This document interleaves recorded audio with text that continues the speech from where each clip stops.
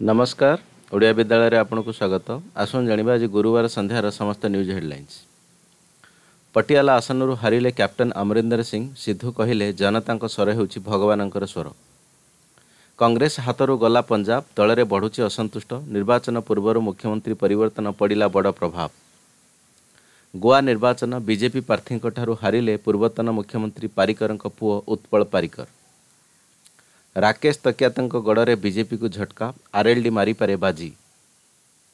ମଣିପୁର ସେନାର ସ୍ୱତନ୍ତ୍ର କ୍ଷମତା ପ୍ରତ୍ୟାହାର ପାଇଁ ଦାବି କରିବି ନିର୍ବାଚନ ଜିତିବା ପରେ କହିଲେ ମୁଖ୍ୟମନ୍ତ୍ରୀ ବୀରେନ୍ ସିଂ।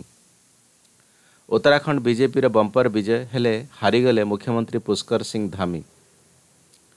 ପଞ୍ଜାବ ମୁଖ୍ୟମନ୍ତ୍ରୀଙ୍କୁ ହରାଇଲେ ମୋବାଇଲ ମେକାନିକ୍ ବିଜୟୀ ଆପ୍ ପ୍ରାର୍ଥୀଙ୍କ ମା ହସ୍ପିଟାଲରେ କରନ୍ତି ସଫେଇ କାର୍ଯ୍ୟ। ମୃତ୍ୟୁ ପରେ ସୁଶାନ୍ତ ସିଂ ରାଜପୁତଙ୍କ ନିଆରା ଉପହାର ଦେଲା ଆମେରିକା ଲୁନାର ସୋସାଇଟି ଏଣିକି ପ୍ରତିବର୍ଷ ପାଳନ ହେବ ସୁଶାନ୍ତ ମୁନ୍ ଡେ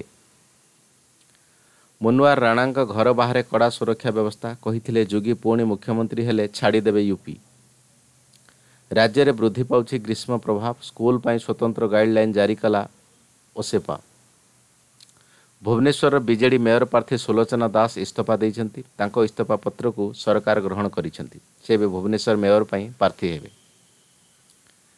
ଏସ୍ଟିଏଫ୍ ଜାଲରେ ନିଶା ବେପାରୀ ଦେଢ଼ କୋଟିର ବ୍ରାଉନ୍ ସୁଗାର ସହ ତିନି ଗିରଫ ଖୋର୍ଦ୍ଧା। ବିଧାନସଭା ନିର୍ବାଚନ ପରେ ବିଜୟ ଶୋଭାଯାତ୍ରାରେ କରିବାକୁ ନିର୍ବାଚନ ଆୟୋଗଙ୍କ ଅନୁମତି।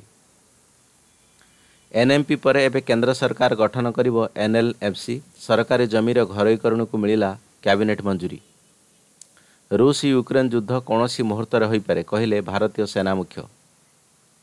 ରୁଷ ୟୁକ୍ରେନ୍ ଯୁଦ୍ଧରେ ୟୁକ୍ରେନ୍ ଉପରେ ଜୈବିକ ଆକ୍ରମଣ କରିପାରେ ରୁଷ ସତର୍କ କରାଇଲା ଆମେରିକା।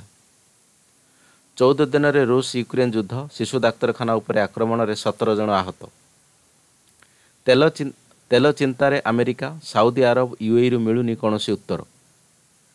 ୟୁକ୍ରେନ୍ ଆକ୍ରମଣ ଭିତରେ ଭାରତକୁ ରୁଷ ଦେଲା ଆକର୍ଷଣୀୟ ଅଫର କମିପାରେ ପେଟ୍ରୋଲ ଓ ଡିଜେଲ ଦାମ। ବିଶ୍ୱକପ୍ରେ ଭାରତକୁ ପ୍ରଥମ ପରାଜୟ ହରମପ୍ରୀତଙ୍କ ଲଢ଼ୁଆ ଅର୍ଦ୍ଧଶତକ ବ୍ୟର୍ଥ ନ୍ୟୁଜିଲାଣ୍ଡ ବାଷଠି ରନ୍ରେ ବିଜୟୀ। ଓଡ଼ିଶା ରଣଜୀ ଦଳ ଅଧିନାୟକ ଶୁଭ୍ରାଂଶୁ ସେନାପତି ବୁଧବାର ଚେନ୍ନାଇ ସୁପର କିଙ୍ଗସରେ ଯୋଗ ଦେଇଛନ୍ତି।